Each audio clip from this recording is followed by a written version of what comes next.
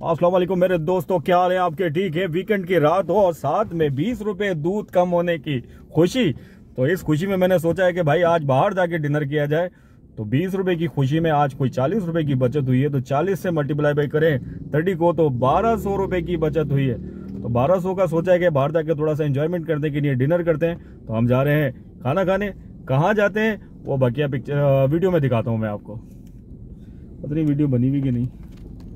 बनी हुई बनी बनी हुई ये डकेती लग रहे हैं कंफर्म डकेती कैसे पता ये तीसरा चक्कर है इनका। एक रुके है ना वहाँ।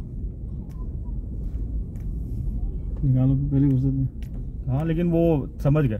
पता है क्या मेरे अंदर एक आदत है कि मैं ना जज कर लेता हूँ तो सामने वाला और डर जाता है। ये, ये पहले ऐसे गए फिर ऐसे गए क्योंकि तू आ रहा था। मेरे दोस्त तो हम यहाँ आए अलासी स्क्वायर सोचा था कि बड़ा बैड एक्सपीरियंस रहा। इन्वायरमेंट इतना अच्छा नहीं है, लेकिन टेस्ट बहुत ज़बरदस्त रहा। तो यहाँ पर हमने खाई कढ़ाई अफगानी बोटी और साथ में डबली कबाब। तीनों ही फंटास्टिक थे। और जो हमने खाया है